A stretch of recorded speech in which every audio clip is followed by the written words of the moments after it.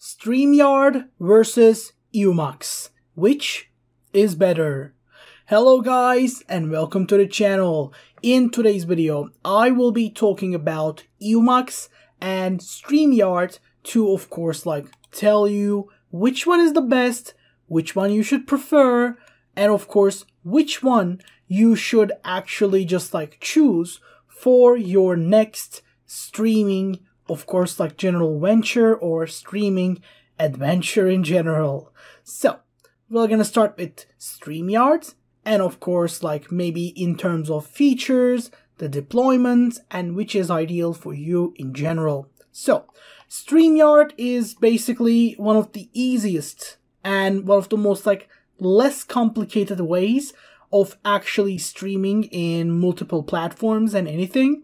And the thing with that is it is basically for people who cannot stream that like uh with ease of access. It's basically the streaming tool for people that don't know how to stream that much. But basically, if you cannot stream that good, this is the way for you to stream things proper.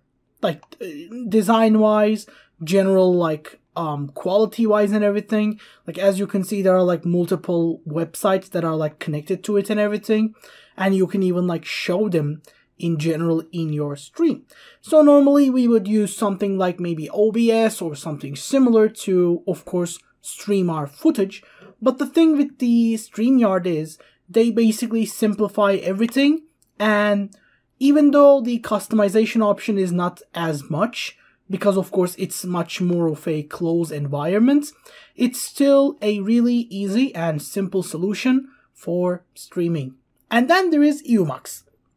Evmux is a similarly easy way, but it's more akin to like a in-between version between of course Evmux and of course like um StreamYard and other services. Basically something like OBS and StreamYard and in the between, you have Evmux. Evmux is the middle ground. It has some options that you have to like choose for yourself in general, but still in the pure concept, it is a middle ground for people who actually want to like actually tinker with stuff, but don't know how to do it. Like if you are looking for different options for yourself, but don't want to like tinker too much with everything and maybe broke them, Evmux is your option. And of course, I would say like Evmux is ideal for most industries, like in general. But of course, like in some parts, if you are confused and everything to choose between which one, like you can use both.